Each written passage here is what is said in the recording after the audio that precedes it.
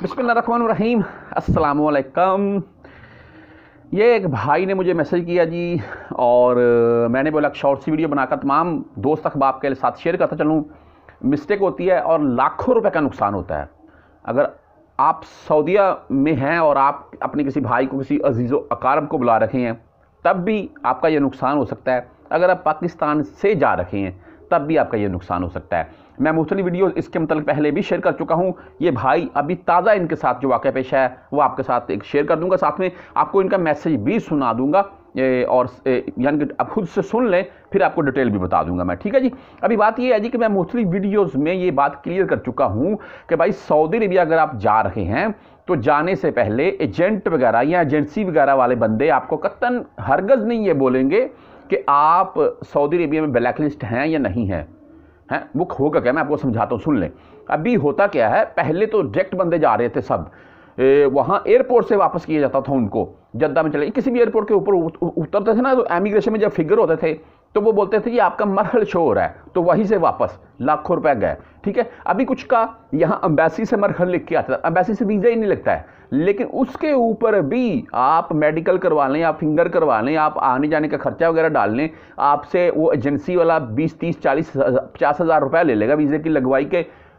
अगर एम्बेसी से भी मरहल लिख के आ जाता है, यानी कि आपका वीज़ा रिजेक्ट हो जाता है, फिर भी आपका तकरीबन तकरीबन एक लाख रुपए का नुकसान हो जाता है। तो इस एक लाख रुपए के, चलो, छोड़ दें, पाँच सात लाख रुपए का नुकसान ये हालाँकि ऐसा हुआ है, मैं आपको सुनाता हूँ, ये हालाँकि, वहाँ एयरपोर्ट से तो वापस भेजे गए हैं। अगर छोड़ दें यार उस, चलो, दो, चार, पाँच लाख को छोड़ दें, आपका अगर यहाँ से भी रिजेक्ट हो जाए तो फिर भी तो लाख रुपये का नुकसान हो गया करना।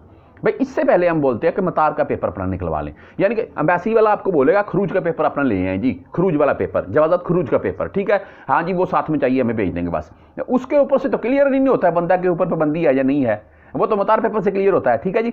मतार पेपर एक ऐसी चीज़ है जिससे ये चीज़ें क्लियर होती हैं कि आप सऊदी अरबिया में दोबारा इंटर हो सकते हैं या नहीं हो सकते या मुमकिन कब तक जा सकते हैं, ठीक है?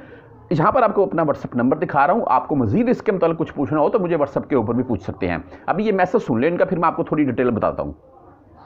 वालेकुम। जी सर हम एक मालूम लेते हैं आपसे। आप दे दोगे?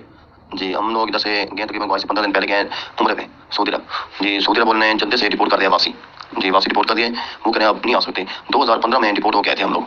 अब इसका क्या बन सकता है? आप जा सकते हैं दोबारा नहीं जा सकते। यही मालूम लेंगे सर। ठीक हो गया? हमें फिर बताना ठीक हो फिर ठीक है जी।